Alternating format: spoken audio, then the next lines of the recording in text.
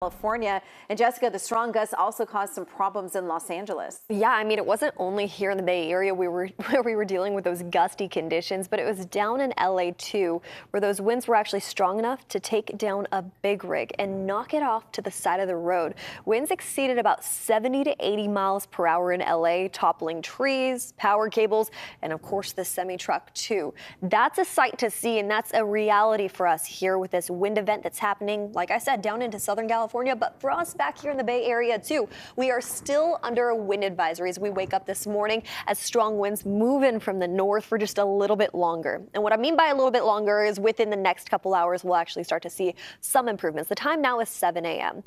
By the 11 o'clock hour, we start to see a lot of improvements off into the East Bay when it comes to those gusty conditions, but it still kind of holds on tight to the North Bay just a little bit longer.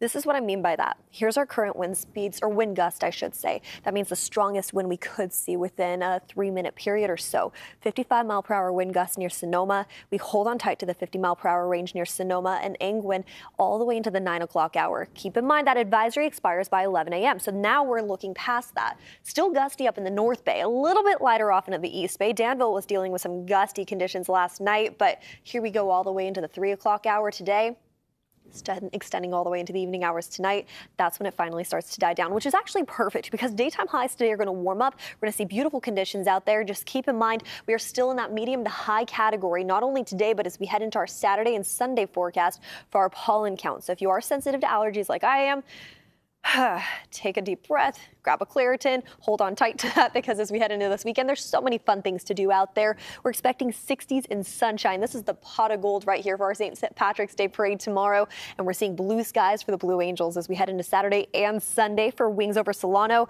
It's going to be an amazing opportunity to head out there, get some fresh air, see sunshine in the forecast just ahead of the first day of spring. Also, my Blackhawk unit's going to be up there too. So if you want to go say hi to them, feel free to do so. This is what we're expecting for our daytime highs today.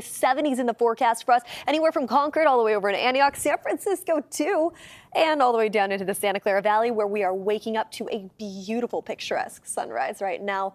Gosh, it is such a stunning day, but notice that camera shaking. It is gusty out there, especially in the higher elevated areas and up in the North Bay throughout those lower valleys. So Napa and Sonoma dealing with gusty conditions this morning.